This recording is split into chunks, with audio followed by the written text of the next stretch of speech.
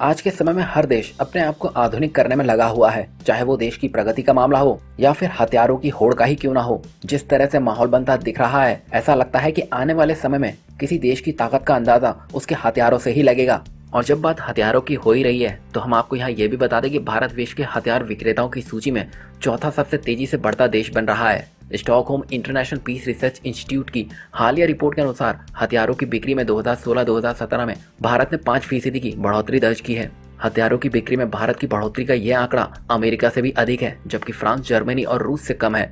इस लिस्ट में चीन को शामिल नहीं किया गया है, लेकिन हथियार विक्रेता के तौर पर बन रही भारत की ताकत के अपने कुछ राजनीतिक और वैश्विक मायने ज़रूर हैं। भारत पारंपरिक तौर पर विश्व के सबसे बड़े हथियार खरीदार देशों में से एक है। रूस, अमेरिका, फ्रांस और इसराइल से भारत बड़ी मात्रा में हथियार खरीदता है।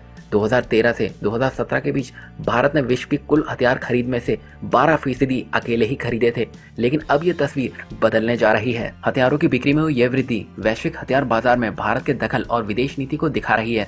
वियतनाम के पीएम मोदी के 2016 में हुए दौरे में भारत ने वियतनाम को 500 मिलियन डॉलर के डिफेंस लोन की पेशकश की थी। इस साल वियतनाम को एयर आकाश मिसाइल और सुपरसोनिक ब्रह्मोस मिसाइल बेचने के लिए बातचीत शुरू की गई है। और यहाँ हम आपको ये भी बता दें कि वियतनाम को प्रमुख हथियार खरीदार बनाने के पीछे भारत की कोशिश चीन की चालाकियों से निपटने की भी है। भारत जिन देशों का प्रमुख हथियार विक्रेता है, उनके साथ महत्वपूर्ण कूटनीतिक और रणनीतिक साझेदारी भी कर रहा है। भौगोलिक और रणनीतिक लिहाज से भी ये सभी देश भारतीय विदेश नीति का अहम हिस्सा है। वियतनाम और मालदीव समुद्री सीमाओं की साझेदारी के लिए महत्वपूर्ण है। सेशल्स और अफ़गानिस्तान जैसे देश भारत की कूटनीति का हिस्सा है।